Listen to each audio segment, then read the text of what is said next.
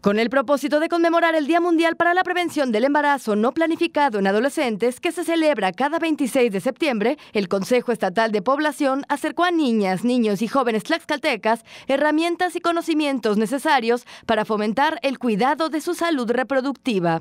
Al interior de la Escuela Primaria Bilingüe Indígena Xicotencatl de la comunidad de San Isidro Buen Suceso, municipio de San Pablo del Monte, la directora del COESPO y coordinadora del Grupo Estatal para la Prevención del Embarazo en Adolescentes, celebró la suma de esfuerzos de diversas dependencias del gobierno del Estado, así como el apoyo de la Federación en estas acciones.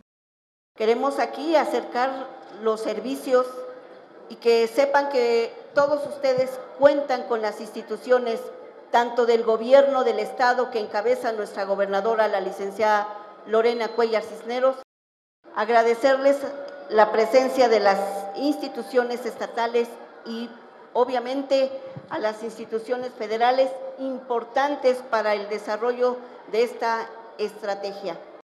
Por su parte, la coordinadora de programas de población y asuntos internacionales del Consejo Nacional de Población, Ileana Villalobos Estrada, remarcó la importancia de prestar atención a las niñas, niños y adolescentes, sobre todo en aquellos que tienen de 10 a 20 años de edad. La segunda década eh, de nuestra vida es muy importante para hacer cosas diferentes y no estar cuidando niños ni niñas, hijos o hijas, por más que los queramos. No es buena idea tener hijos, hijas a, a una edad joven. Nuestra presencia es para darles ese mensaje de que ustedes no están solos. Y por supuesto, pues cuentan con sus padres, y con su comunidad. Así es que a vivir, a vivir muy felices por y disfrutar estos años de vida que sin lugar a duda son muy importantes. En tanto, Jorge Barrera Ramírez, quien acudió en representación del secretario de Gobierno, Sergio González Hernández, aseguró que la Administración Estatal continuará impulsando acciones que impacten de manera positiva en la prevención del embarazo a temprana edad.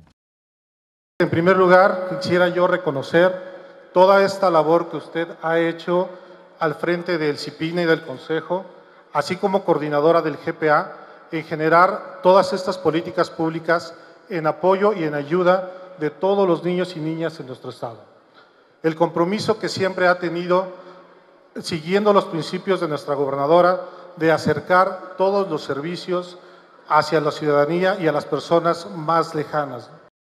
Durante el evento, el responsable de Servicios de Salud Sexual y Reproductiva de la Secretaría de Salud del Estado, Óscar Acosta Castillo, impartió la plática Plan de Vida y Planificación Familiar, en la que el público asistente se mostró muy participativo a través de diversas dinámicas. Además, las alumnas y alumnos de las escuelas primarias bilingües indígenas Xicotencatl, Huichilopostli y Matlalcueyetl, así como del plantel 14 del CECITE, pudieron conocer en los diferentes módulos que las dependencias estatales instalaron en este espacio información sobre salud reproductiva y el uso de métodos anticonceptivos a través de asesorías y orientaciones que ahí se les brindaron. Igualmente, se les suministró dosis de las vacunas contra el BPH y hepatitis B. Asimismo, pudieron acceder a la unidad móvil EduSex de la Secretaría de Salud del Gobierno de México para conocer más información de estos temas. Para Ahora Noticias, Marian Gómez.